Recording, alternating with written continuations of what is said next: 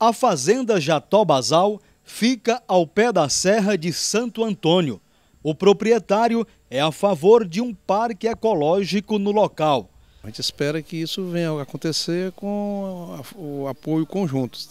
Não, não pode ser nem só governo, nem só iniciativa privada. Tem que ser é, a junção de esforços para poder se concretizar, fazer com que isso aqui seja apenas o, o começo e que isso possa efetivamente acontecer. O Chico Loteria tem uma propriedade do outro lado da serra e garante a oferta de uma estrutura a turistas, estudantes, pesquisadores e professores.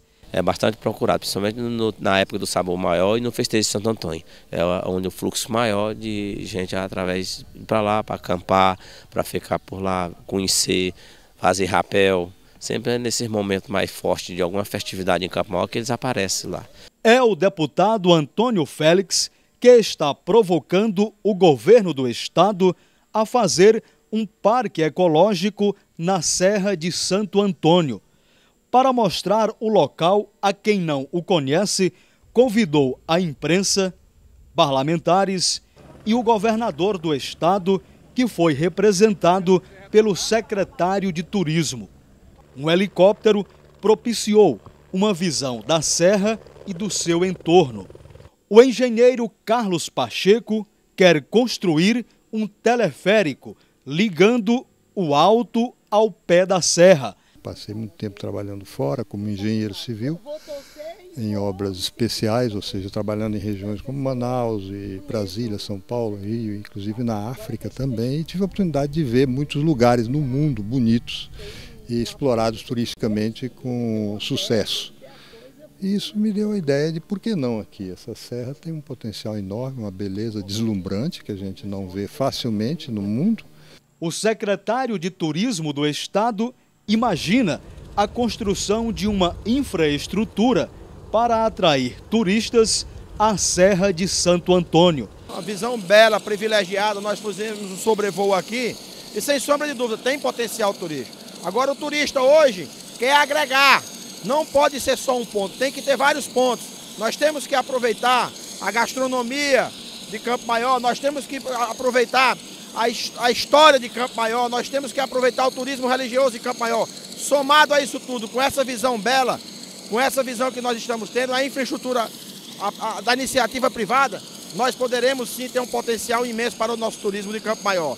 O deputado Antônio Félix é o entusiasmado para a construção do Parque Ecológico da Serra de Santo Antônio. Nós hoje trouxemos várias autoridades e também pessoas da sociedade campo-maurense do estado para que aqui se veja, e a parte técnica também, para que aqui se veja uma, um, o que temos aqui na nossa região de Campo Maior, que tanto serve para o turismo do estado, como visitantes que possam vir à nossa terra de Campo Maior, que tem como fortalecer mais ainda o turismo com a viabilidade da, da, das comidas típicas de Campo Maior, do setor histórico de Campo da Batalha de Genipapo, e também este morro que vem poderá trazer aqui um teleférico, tem pessoas já interessadas nessa parte, como também na parte de hotéis.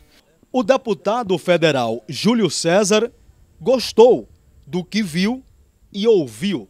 Eu estou muito feliz, é um lugar muito bonito, é uma projeção que o Piauí vai ter, assim como tem a Serra da Capivara, Sete Cidades, o nosso turismo lá no litoral e aqui em Campo Maior, onde tem uma das fazendas, quem sabe a mais antiga fazenda de mais de três séculos de existência, que poderá ser conhecido por aqueles que amam a história do Brasil. Com a construção do parque, a fauna e a flora da Serra de Santo Antônio serão preservadas e as futuras gerações poderão admirar a beleza do lugar.